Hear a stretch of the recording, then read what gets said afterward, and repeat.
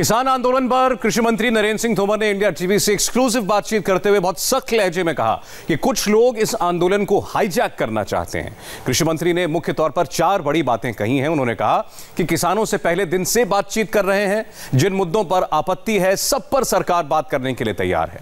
कृषि मंत्री नरेंद्र सिंह तोमर ने कहा कि किसान आंदोलन में कुछ गलत प्रकार के लोग शामिल हो रहे हैं। ये तत्व और ये तत्व ऐसी मानसिकता किसानों के कंधे पर बंदूक रखकर गोली चलाने वाली है।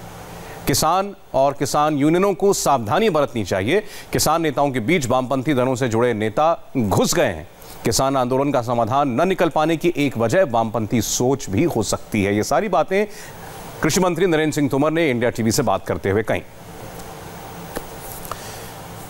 लेकिन क्या कृषि आंदोलन कुछ तत्वों ने हाईजैक कर लिया है? इस सवाल के जवाब में क्या कहा देश के कृषि मंत्री ने? आपको सुनाएँगे एक ब्रेक के बाद।